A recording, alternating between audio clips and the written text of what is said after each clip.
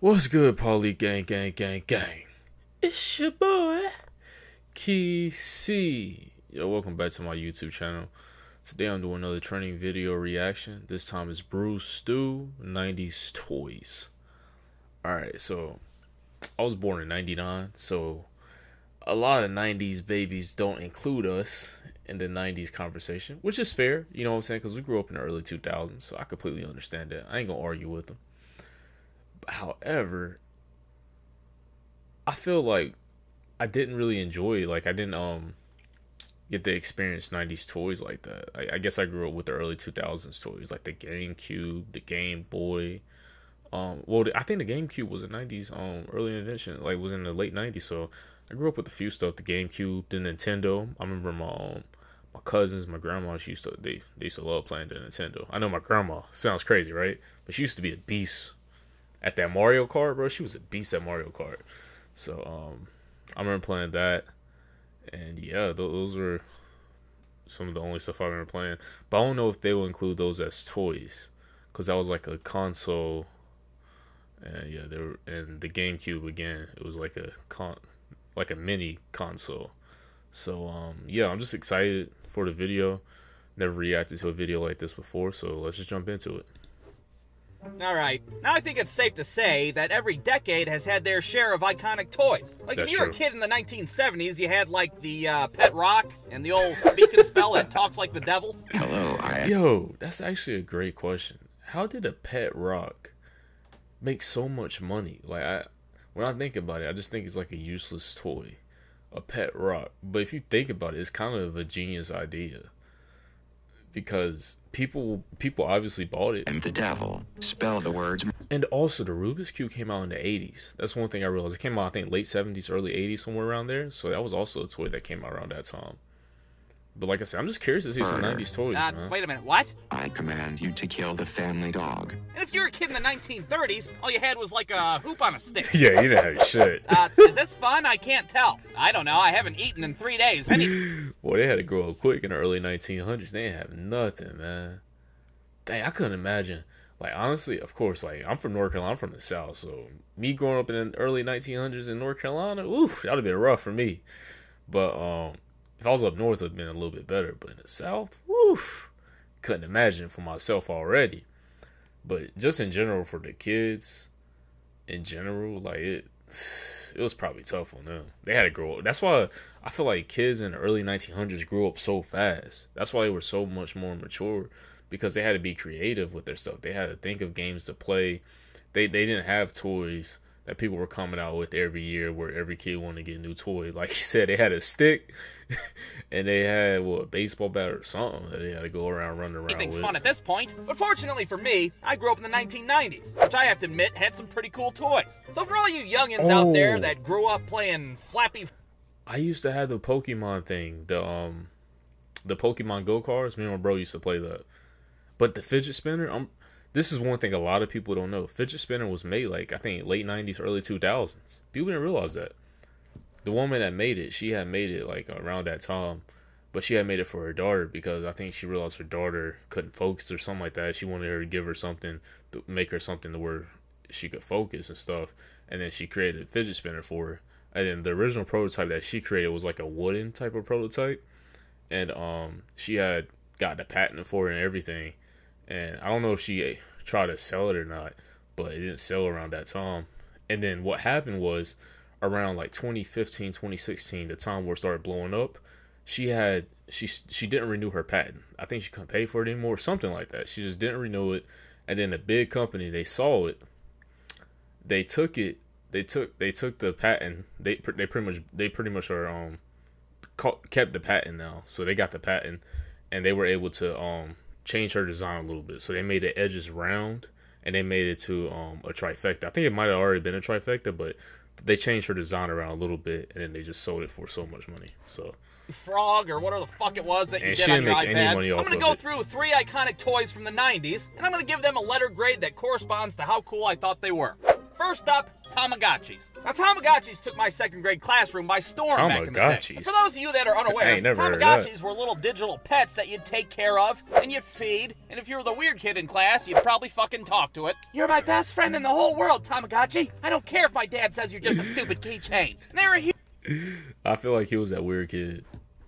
Huge hit back then. Every kid had one. And why wouldn't you? I mean, who wants to clean shit from a big ass dog when you could clean That's up true. fake shit from a fake ass dog? It makes sense. And it wasn't That's just true. dogs that they had to choose from. They had all sorts of animals. They had cats and uh, turtles, a goddamn water buffalo, you name it. Now, for me personally, buffalo? I didn't have a Tamagotchi, but I did have a generic off-brand one that I won from a gumball machine. Oh And my, little gosh. fake animal Dude, I miss gumball machines. They don't have those. They have a few at stores, but they started to get. I think they got rid of most of them. But man, as a kid, man, I used to always ask my mom, "Mom, you got some quarters? You got some change?" Just so I can get gun from the gumball. Oh, was a dinosaur, Or- no, we had those tattoos, those fake tattoos that you could put on yourself. So I used to always ask my mom. You know, really used to always ask our mom for change, so we can get some fake tattoos, put them on ourselves and stuff like that, just so we could look like we um. Just so we could look That's bad what and it said it was. like that. but that generic shit just we looked thought like we were so cool at the blob time. with a face on it. But regardless, I took care of that little blob with a face on it for weeks. GameCube. And over time, it grew a tail, and then some legs, and then a fucking goatee and shit. It was growing up right in front of my stupid little face. That is until one weekend, a I rented the game a. Star Fox 64 from Blockbuster, and uh, well, I played that shit for like 40 hours straight, which meant that my fake ass Hold up. dinosaur was left neglected. Did he just say Star Fox? Star Fox, aka Harry Styles? Is that what neglected he's, the entire is what time. he's saying there? Hey, uh, I took a shit over here. Can you, uh, can you come wipe me now? Anybody? No? Okay then. And it didn't dawn on me until I showed up to school the following Monday and seen all my classmates with their Tamagotchis. Dude, check it out. My water buffalo grew a mustache. What's your dinosaur look like now? My what? Oh, shit. Whoopsie. Sure as hell I got home that day. My fucking Tamagotchi looked like a crime scene in an episode of Law and Order. It's face down, dead as hell, surrounded by piles of its own shit. And that was pretty much the end of it. So I guess we'll give Tamagotchis a B, and we'll Okay. give it an A plus for the emotional trauma that it caused an entire generation of children. I could definitely see someone bringing that toy back. To be honest with you, well, I could definitely see a lot of kids, especially um, a few guy, a few boys, but a lot of um girls playing with that. They'd be like, "Oh my gosh, look at this!" Like, imagine if they could like put like a Hello Kitty on that type of thing right there. I think it could sell for a lot of money. Next up, the Bop It. Now, the Bop It was a I heard fun game. It was basically an electronic version of Simon Says. The game tells you what to do, and then you do it. Bop It. Uh, okay. And you just They keep made a song about that, didn't they? stupid little fourth Bop grader it, brain gets it, poke overloaded it, and you screw up. something like that. Ah, game over. You lose. Now, the only problem that I had with the Bop It was, uh, well, I don't really know how else to say this, but, uh, well, the thing looked like a fucking sex toy, didn't it? I can't be the only one that thought that, right? Hell, the first time my next door neighbor Michael got one, he didn't know what the hell to make of the thing. Uh, I don't get it. Do I play with this thing? it doesn't look like a sex toy to me. The only thing that does look like a sex toy is the um the end of it. So like not the yellow side, but the opposite side, the blue side, the end of the blue side. But um, it more so looks like like when you got to pump up a football or something like that, or you got to pump up a tire. That's what it looks like. It looks like a pump to me.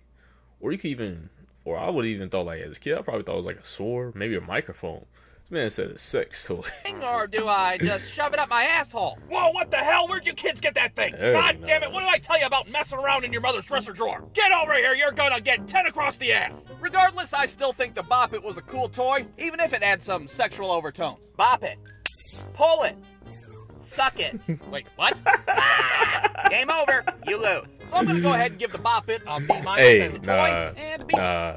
You gotta give that an A, boy. Come on, though. Plus for a sex toy. All right, moving That's on. funny. Last but not least, we got the Furby. Now, the, The Furby, was basically a three-dimensional version of the Tamagotchi, just a fucking stuffed animal that you're supposed to take care of. But Furbies had two main differences. One, they were annoying as hell, and Yeah. two, they didn't fucking die. Now, these things were You know ugly what? as hell. I have no I'm over here telling y'all, yeah, like I had a Furby or I know what a Furby is. I have no clue what a Furby is. no idea who the hell came up with the Furby, but I imagine it was some methed out guy in a board meeting like, All right, so So what if we took like a Pokemon and then gave it Steve Buscemi's eyeballs and then we make it fart? Would you buy that? Oh, well, hell yeah, I'd buy that. I think I'd buy several. Now, personally, I didn't want anything to do with the Furbies when I was a kid. I mean, for one, I just didn't understand why anybody would want one in the first place. Uh, the thing just farts and talks bullshit to itself. My Uncle Rick already does that. What the hell do I need a Furby for? And for two, Hey, I thought that I'm not even gonna lie. When the fidget spinner started blowing up, well, also one thing I would say, I was in high school when fidget spinners started blowing up. So I was like, what, junior in high school.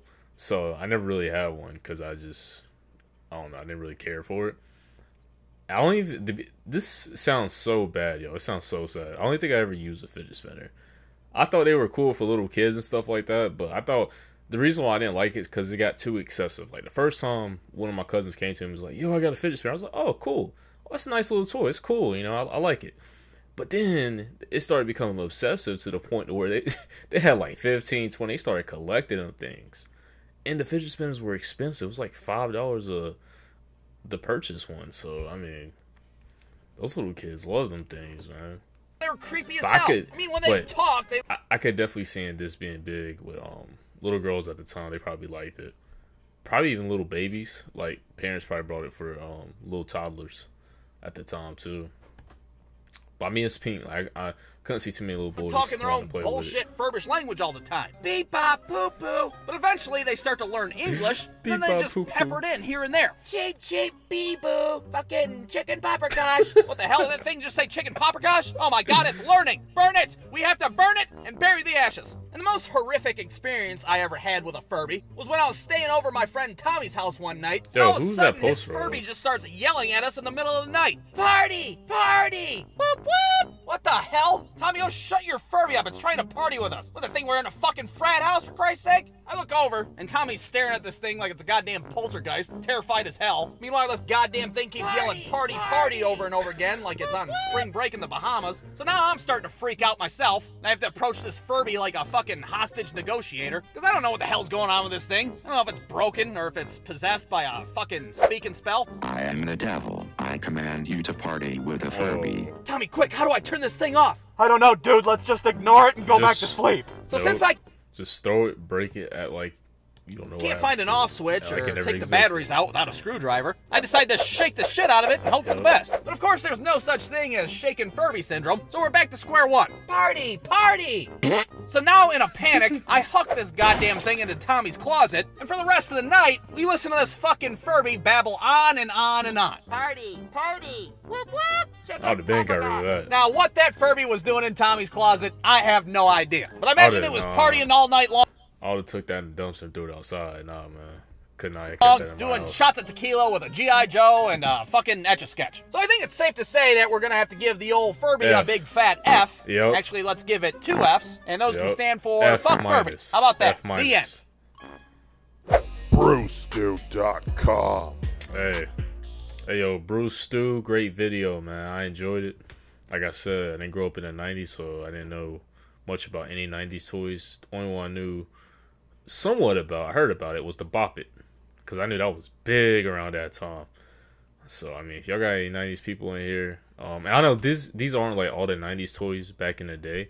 It's just like a snippet of like two or three toys that I'm pretty sure that he remembered growing up as, growing up with. So um, if you guys grew up in the 90s and you want to comment in the comments just let me know any other 90s toys that he missed out on because i feel like there were some big ones back in the 90s that he probably just didn't mention or he may have just forgot to mention. He probably just pointed out the ones that were the funniest to be honest with you. But anyway go check out Brewstew films if you want to. If you like the video subscribe to his page. If you already stand to the end of this video, you might as well go ahead and subscribe to mine as well. Anyway, it's your boy, Key and Polly Squad. Yo, we out.